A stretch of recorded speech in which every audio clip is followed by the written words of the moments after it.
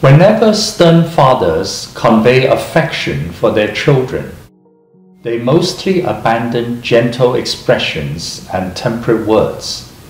Instead, they assume solemn appearances and deliver words of admonishment.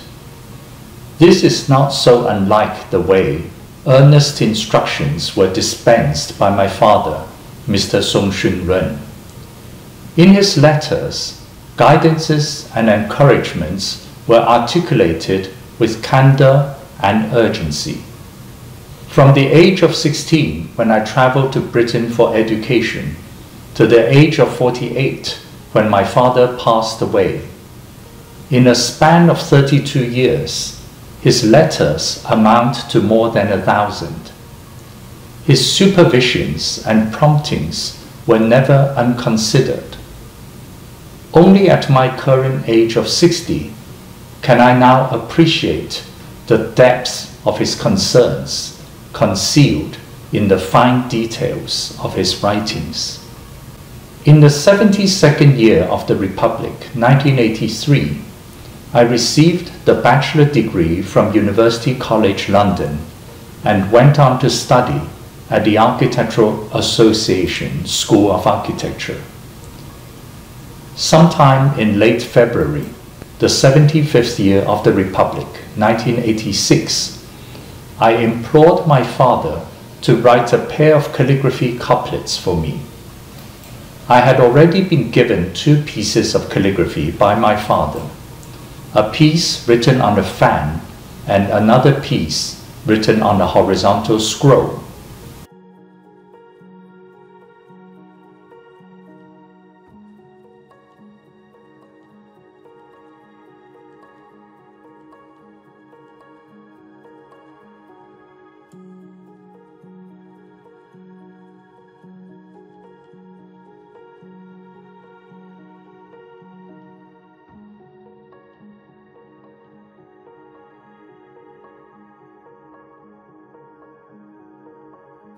To acquire an additional format was cause for gratification.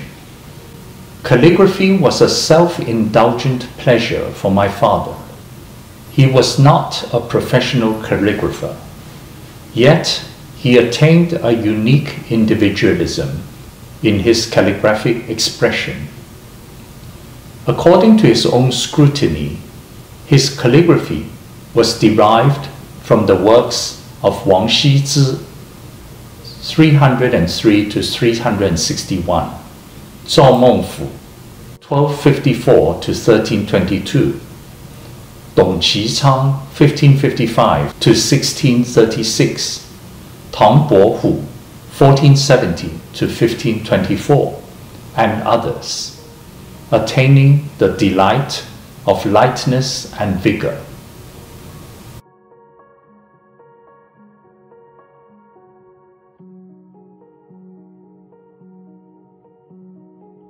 On 17th March, in the 72nd year of the Republic, 1983, I received a letter from my father.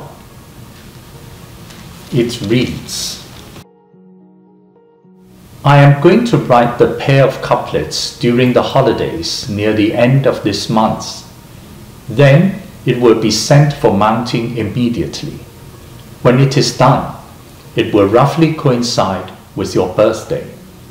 According to the sexagenary cycle, we are in Ping Yin year, which happens to be your zodiac year, the year of the tiger. It is particularly meaningful for me to write this pair of couplets to motivate you.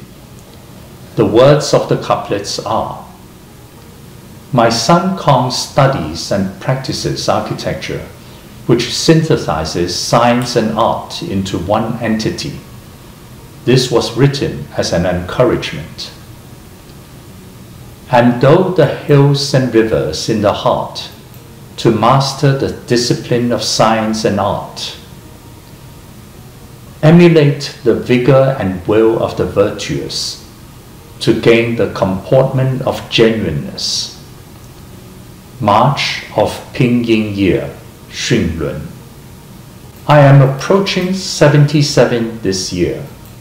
Every 76 years, Halley's Comet passes over the Earth once.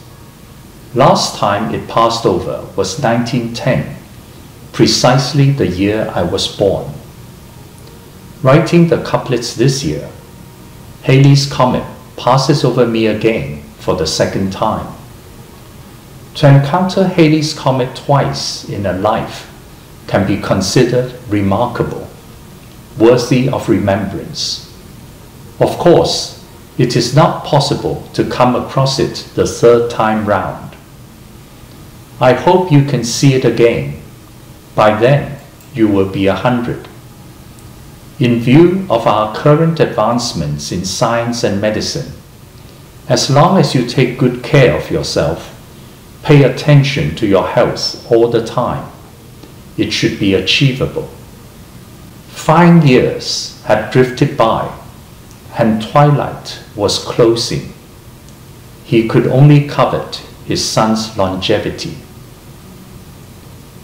On 1st April in the same year, my father wrote another letter to describe experimenting with sprinkled gold paper and white paper.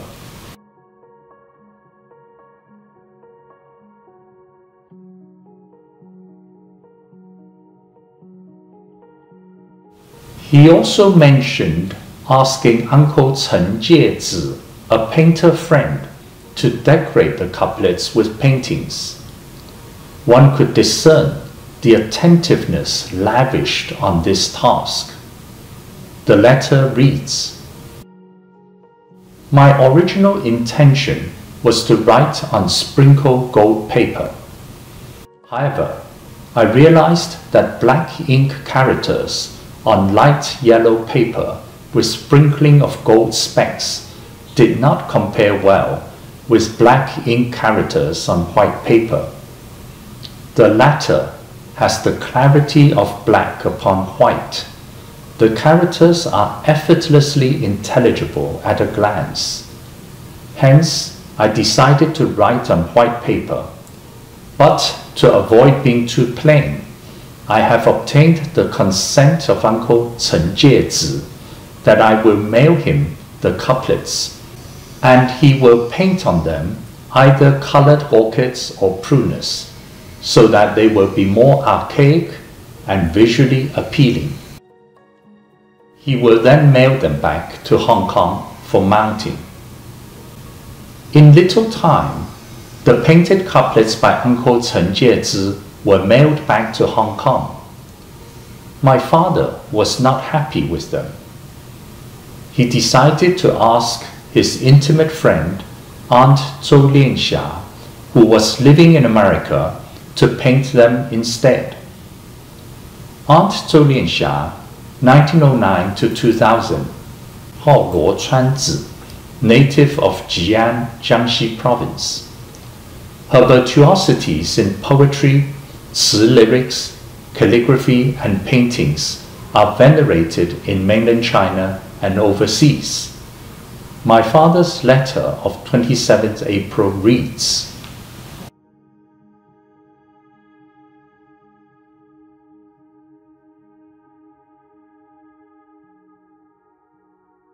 The calligraphy couplets I wrote were mailed to Zhou Lianxia in America yesterday. She can thus paint vermilion bamboo on them. Bamboo is categorized as one of the four plants known as the Four Gentlemen prunus, orchid, bamboo, and chrysanthemum.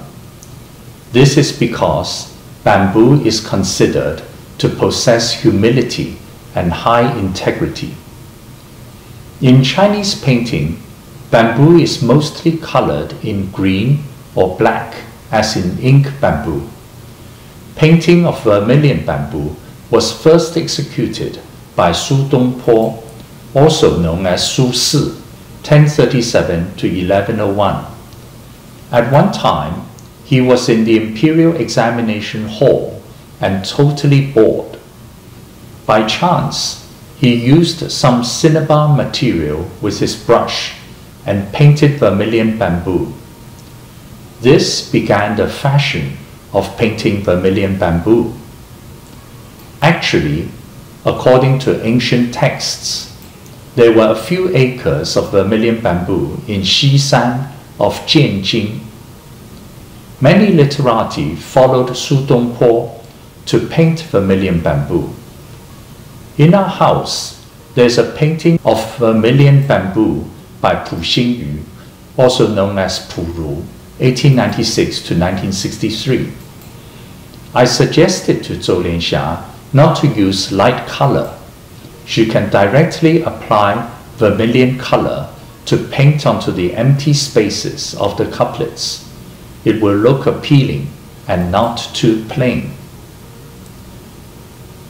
As for Zhou Lianxia's mastery of classical literature, be it poetry, lyrics, or prose, it is no longer possible to find a second woman of her profound standard across mainland China and Taiwan today.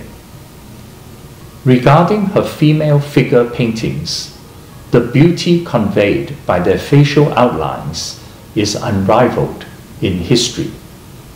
Even comparing to the works by late Qing figure painters such as Fei Xiaolou, Gai Qixiang, or the contemporary painters such as Pu Xinyu, Zhang Daqian.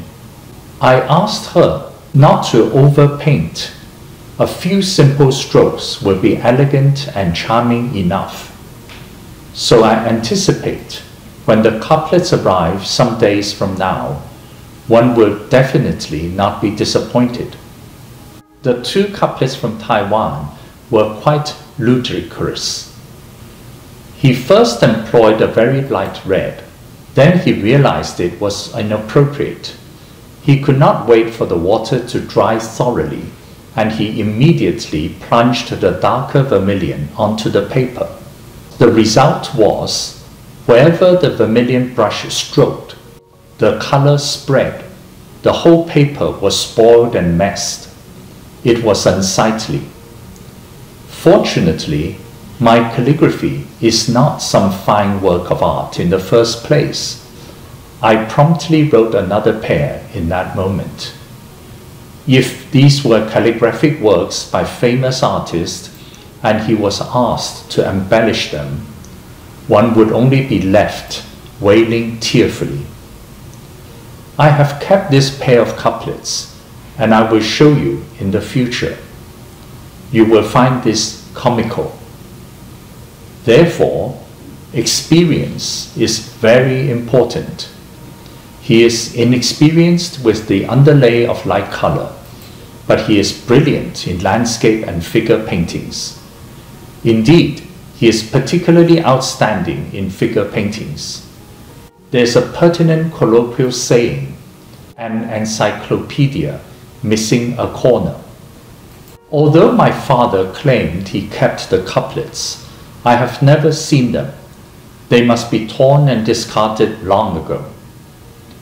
For the pair of couplets that were sent to America, should they be embellished with vermilion bamboo, or prunus and bamboo, or the four gentlemen of prunus, orchid, bamboo, and chrysanthemum?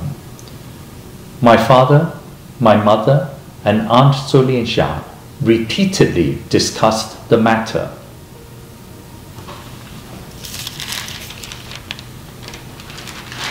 In my father's letter dated 5th May, he wrote, Zhou Lianxia has already received the pair of couplets. She thinks just painting vermilion bamboo is too simplistic. She advocates painting the four gentlemen, prunus, orchid, bamboo, and chrysanthemum. Your mother also thinks that bamboo has been customarily referred by ordinary people as someone who cultivates a facade but is devoid of practicality. It is wholly inappropriate. The four gentlemen are more preferable. Hence, I am determined to ask her to paint the four gentlemen. I anticipate the result this time will be most satisfactory. However, the letter dated 27th May reads, The pair of couplets entrusted to Zhou Lianxia to be painted are not back yet. When I first delivered them to her, I suggested that she could paint vermilion bamboo, or the unworldly duo of prunus and bamboo, a part prunus, a part bamboo. Chinese classical literature refers to their pairing together as the unworldly duo of prunus and bamboo because they are both regarded as exceedingly lofty in character.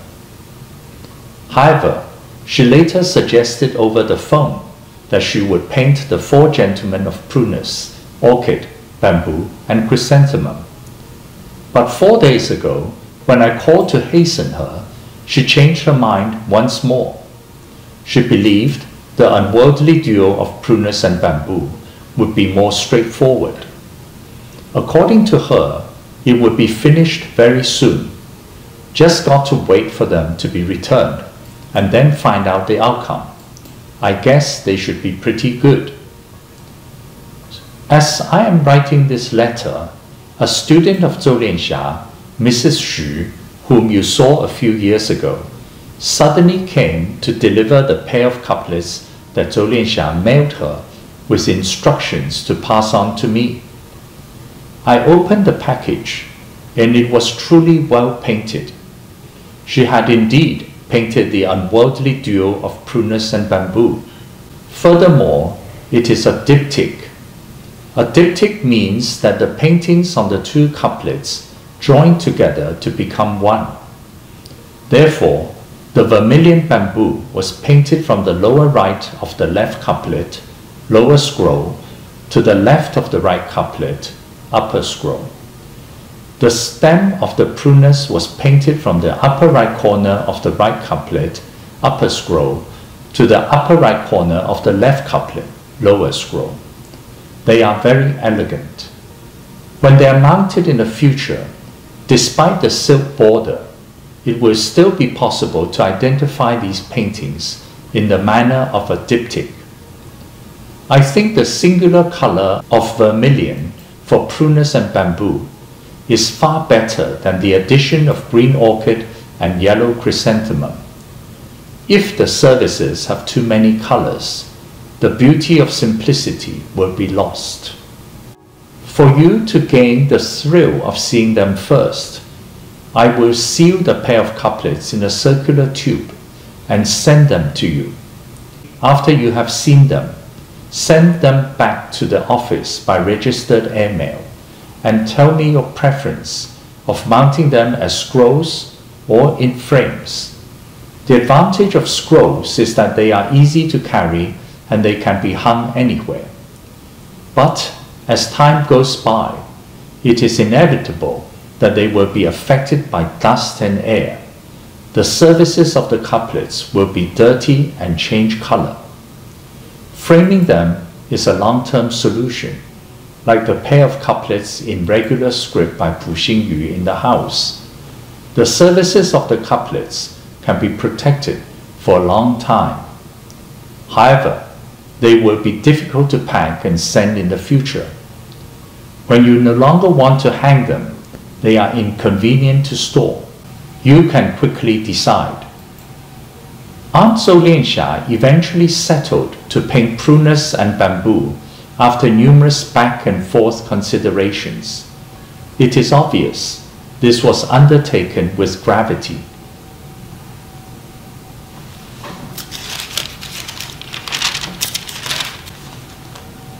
My father's letter dated 2nd June reads Near the roots of the bamboo, Zhou Lianxia painted a few fresh sprouts.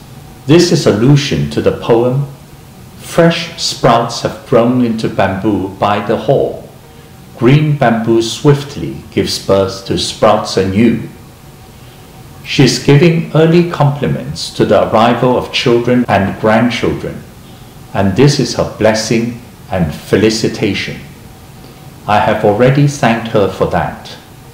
Only then I realized that the painting of Prunus and Bamboo by Aunt Zhou Lianxia had introduced deeper allusion beyond.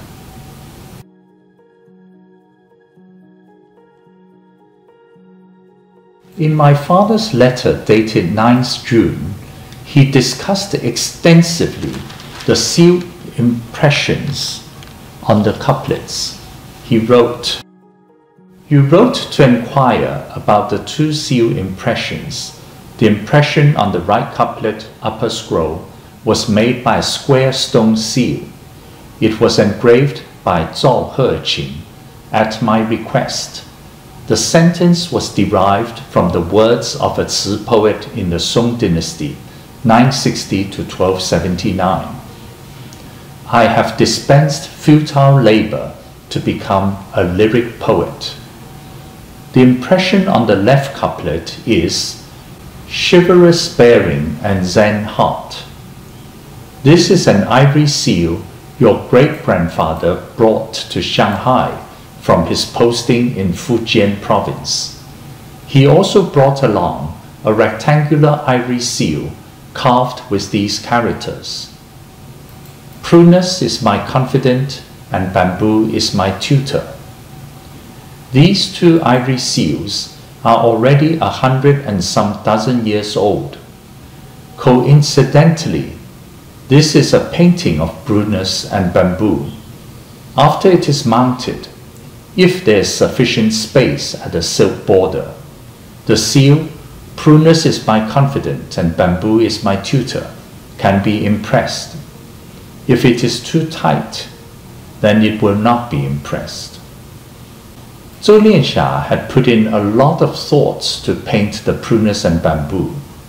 As you are a young man, she especially painted you upright bamboo that was full of vigor for prunus, she too avoided twisted branch and aged stem. Instead, she painted sparse shadows and horizontal postures. The comportment of these new branches thrive gracefully. Moreover, she painted fresh sprouts, which can be considered her blessing and felicitation. In her letter, she recalled she had painted diptych works with six scrolls and eight scrolls. But this was her first attempt at diptych work with two scrolls. However, she did not impress her seal. It seemed too informal.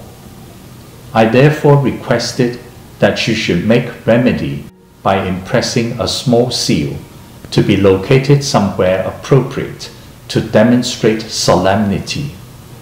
She will be coming to Hong Kong in July and August. She will bring a seal to add on its impression. When parents write to children, they do not impress seals with their surnames nor original names. By custom, only seals engraved with zi or hao are used.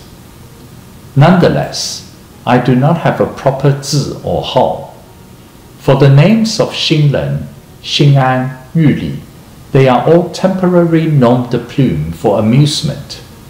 They are not genuine zi nor hao. Since Xingren is the only standard name, and I do not have a seal with just the characters Xingren, so I use the playful seal of chivalrous bearing and zen heart. The horizontal scroll I wrote for you some years ago was impressed with the seal, seal of Song Xunlun. It was out of expediency, and it should not be regarded as correct form. The seal, chivalrous bearing and zen heart mentioned in the letter is a stone seal. It was erroneously recalled as an ivory seal.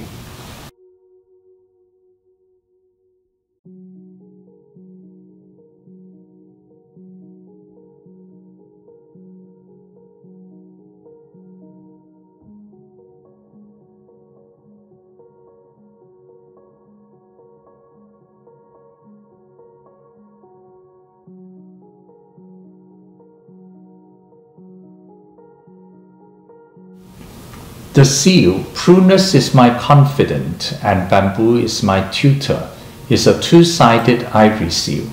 The other side has the engraved characters Ci lyrics and prose by scholar Song. Both seals were used by my great grandfather the Honorable Song Zihe, original name Zun Wang. For these seals to remain in the possession of his descendants has not been an easy feat.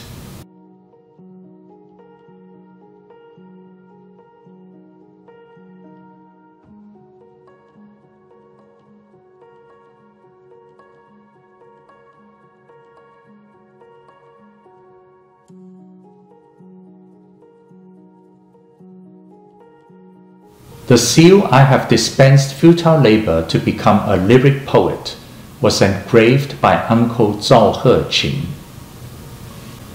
Uncle Zhao Heqin, 1894 to 1971, 字新补, Hao Chao, and Zhang Hui Lao Ren in his old age.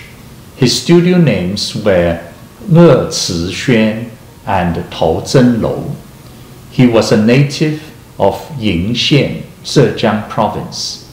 He was the grandnephew of Zhao Shuru, 1874 to 1945, and inherited an eminent artistic lineage.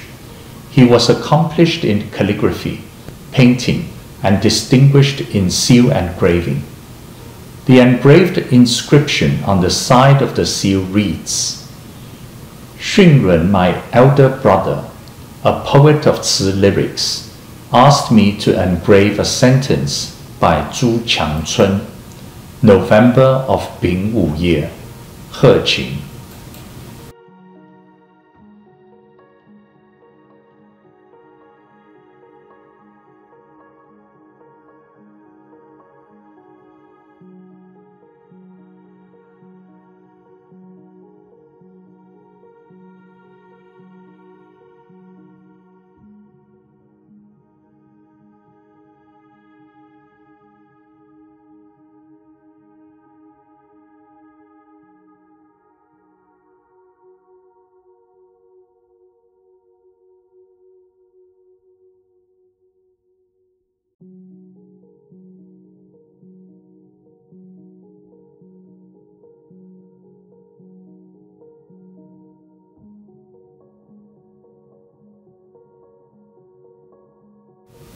year is the 55th year of the Republic, 1966. The sentence, I have dispensed futile labor to become a lyric poet, was derived from the poem The Grave of Commander Cai by Wen Ting Yun, 812 to 870, of the Tang Dynasty, 618 to 907. The poem reads, Ancient grave crumbles by wildflowers in spring. Commander's spirit is said to have reborn. Adoration of talent is much less than before. Don't dispense futile labor to be a lyric poet. Zhu Qiangcun, 1857 to 1931, a distinguished Ci poet and a close friend of my great-grandfather, the Honorable Song Zihe, composed his final Ci lyric to the tune Zhe Gu Tian before passing away.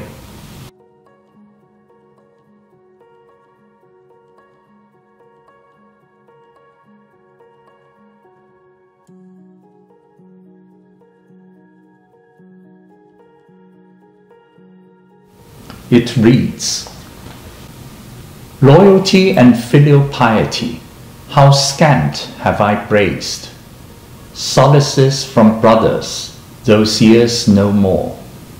In my eyes, my son, is this right or is this wrong? After my death, my wife, is this enmity or is this care? Affairs but shadows, life as water and cloud. I have dispensed futile labor to become a lyric poet Save this human world for grief only. Unlink the ties from past karma. For my father to ask Uncle Zhao Heqin to engrave the sentence, I have dispensed futile labor to become a lyric poet. His lamentations on life must be vehement. The horizontal scroll by my father mentioned in the letter was executed in the 68th year of the Republic, 1979.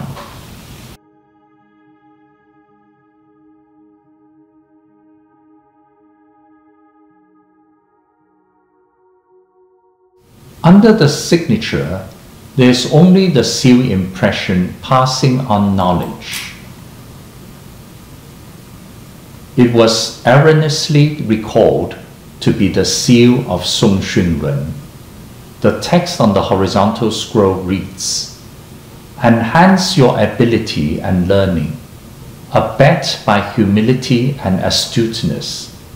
If great endeavor is attained by good fortune, it is admittedly cause for satisfaction. If not, these qualities are suffice to lead a settled life. Sun Kang, be encouraged. March in Ji Wei Ye, Xunlun.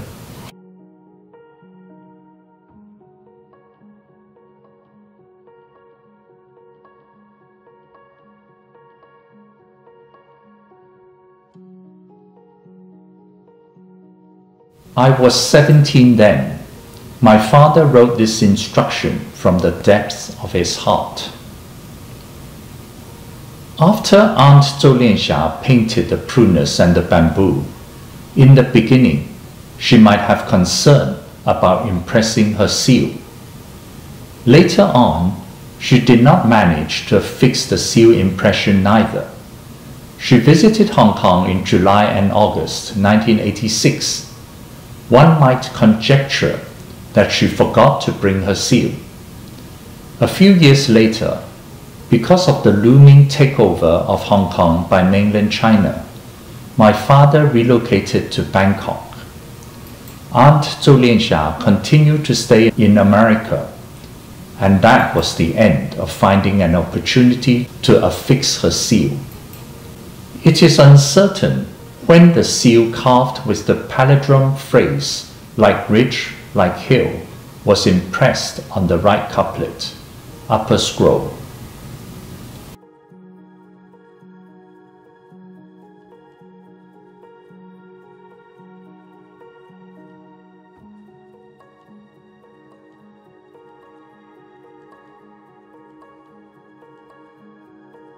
The seal, like ridge, like hill, was engraved by Feng Minchang, 1741 to 1806 in the 75th year of the Republic, 1986, I acquired the seal from Sydney L. Moss Limited, a Chinese antique shop in London. My father inscribed the title slip and the interior of the brocade box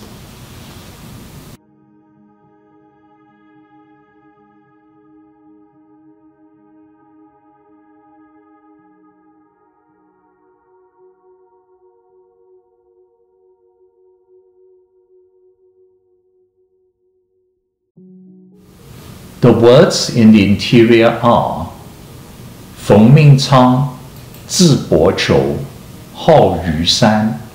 native of Qinzhou. He attended the jinshi degree in the 43rd year of the Qianlong reign. He excelled in seal engraving, poetry, and painting. His engravings were vigorous, deep, and resonant. This seal, with the characters like Ridge, like Hill, was acquired by Xu Kang in London in 1986. It was a fortuitous encounter with epigraph.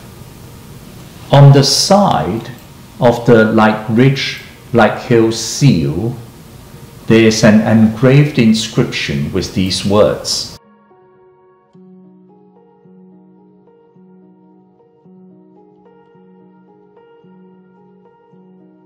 On 3rd July, in the autumn of Wu Xu year, I imitated the seals carved in the Han dynasty.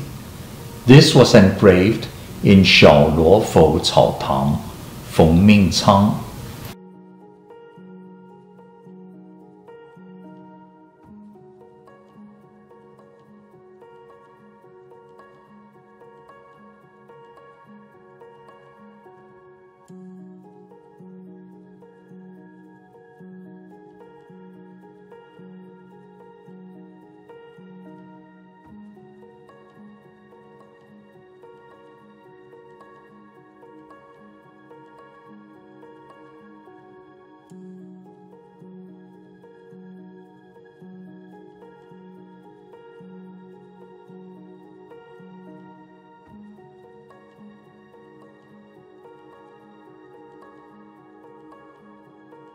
This seal was engraved in July of Wu Xu year.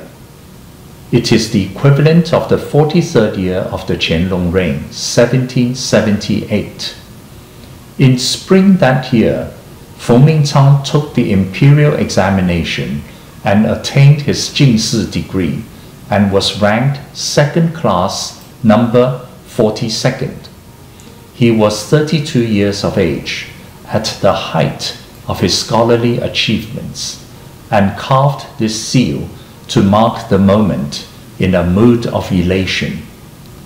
The phrase, like ridge, like hill, on the seal was intended to be used for self motivation and self reflection by Feng Minchang.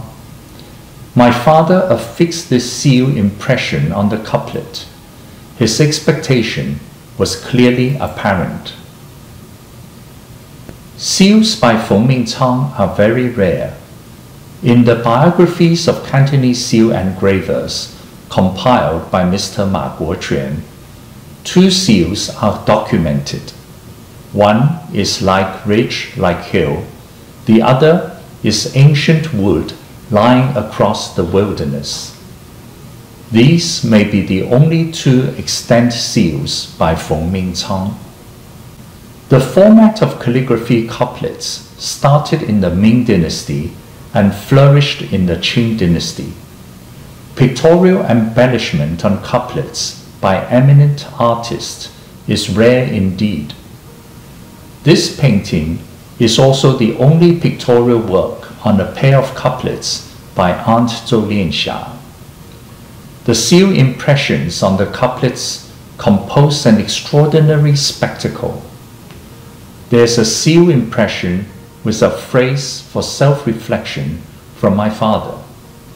There's a seal impression with a phrase for self scrutiny from my great grandfather.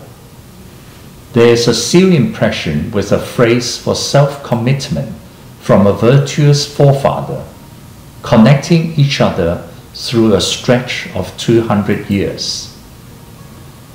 I have let the years dart by in futility, unable to even realize a fraction of my father's teachings. Hanging the pair of couplets in the room. What can I tell my father